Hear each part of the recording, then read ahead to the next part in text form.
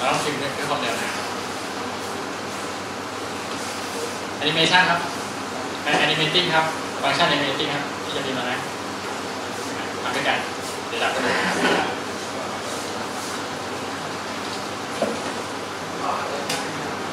พิมพ์ต่อตัว movement แล้วข้างล่างครับ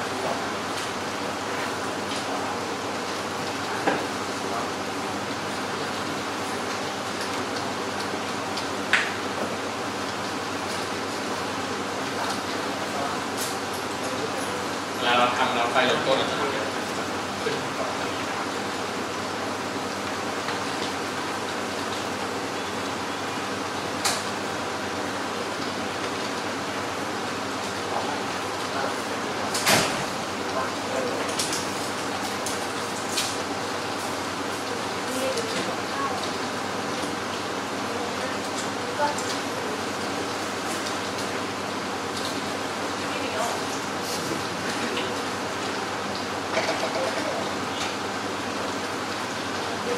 คน ทำ animating ฟังก์ชันนี้เสร็จแล้วนะครับ ก็คือให้ไปคอ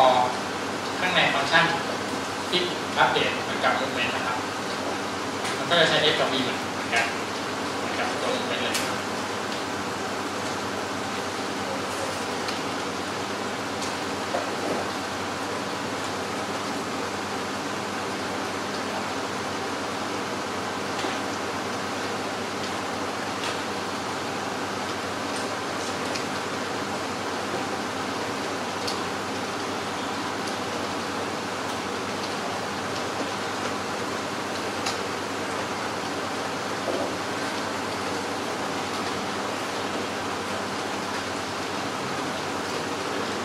ทำเสร็จแล้วเวลา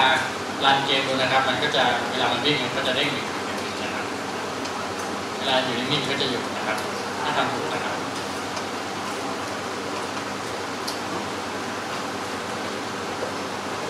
แล้วเหลือแค่อย่างเดียวนะครับของแอนิเมชันของของตัว player นะครับ ก็คือให้มันหันหน้านะครับ เดี๋ยวเรามาดูว่าเราจะเราจะทำทันไหมครับ เพราะว่าโค้ดชุดหันหน้ามันจะยาวนิดนึง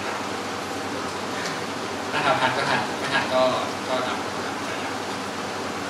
ครับเตรียมเอด้วยครับ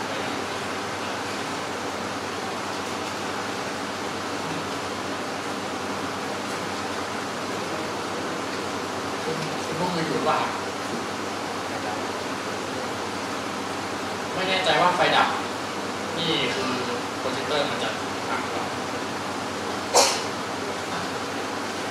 ต้องเราต้องปิดโปรเจคเตอร์ก่อนไฟดับก่อน คือคอมมันไม่มีปัญหาหรอกแต่โปรเจคเตอร์นี่สิ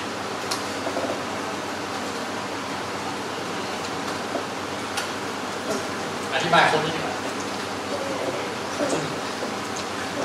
เอาจบเอาจบตรงนี้ก่อนเนาะแล้วเดี๋ยวโค้ดชุดหันหน้าเนี่ยเดี๋ยวเรามาทำต่อนะครับ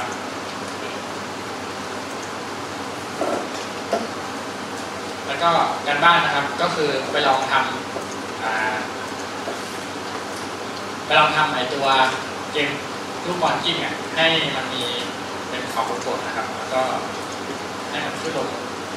มีทางลาดขึ้นลงนะครับเห็นไหมทางลาดขึ้นลงนะครับลองดูให้เป็นขอบกดแล้วลาดขึ้นลงครับแล้วมันเก็บเก็บเก็บในลูกบอลถ้าทำได้คือถ้าเก็บลูกบอลสีส้มให้มันไม่เดียวลองดู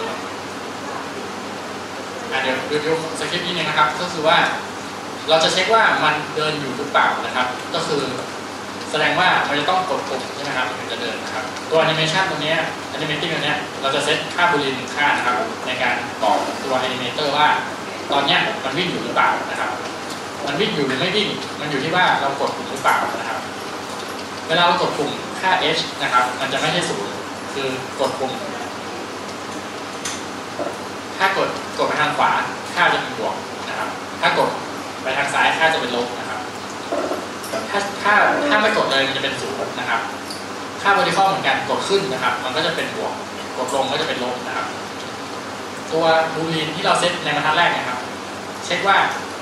ค่ามันไม่เท่ากับศูนย์นะครับ คือค่า h เนี่ยไม่เท่ากับศูนย์คือถ้ามันกดซ้ายหรือสุดกดขวาอยู่นะครับ หรือว่าค่า b มันไม่เท่ากับศูนย์นะครับ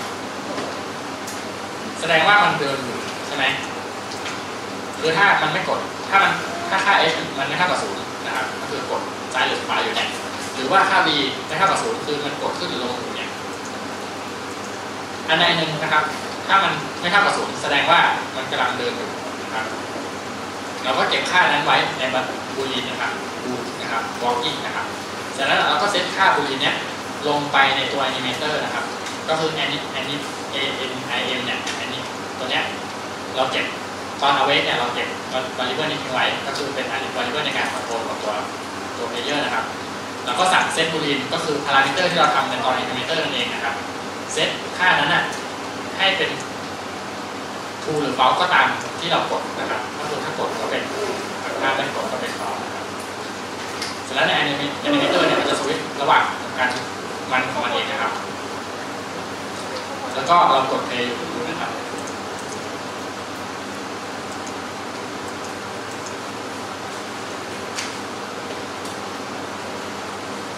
ถ้าเกิดว่าใครเล่นแล้ววิ่งอย่างนี้ได้นะครับ แสดงว่าถูกนะครับเสร็จถูกแล้วมันจะต้องเด้งเด้งเด้งนะครับ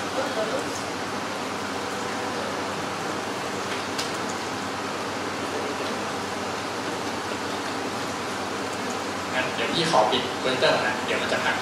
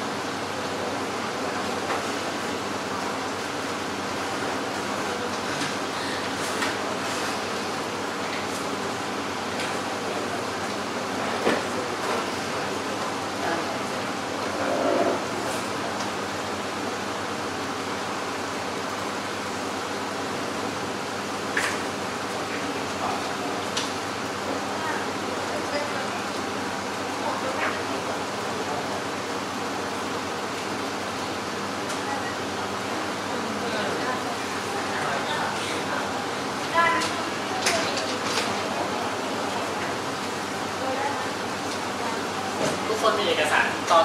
เทรนนิ่งอยู่หรือ เขาแจกจ่ายมาไหมเอกสารเทรนนิ่งใครมีบ้างไอ้โค้ดเนี่ยมันจะอยู่ในนั้นเนี่ยจะให้จะได้เป็นเพิ่มเติมตัวเป็นแน่เป็นแน่ใช่ไหมก็ต้อง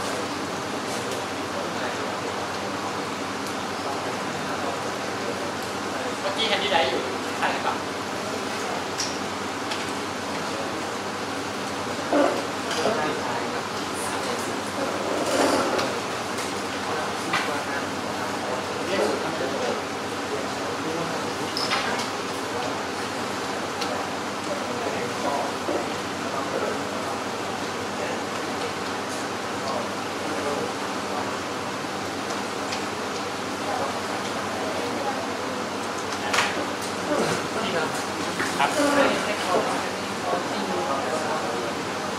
เขาที่จะมีนต่อต่อแต่หน้า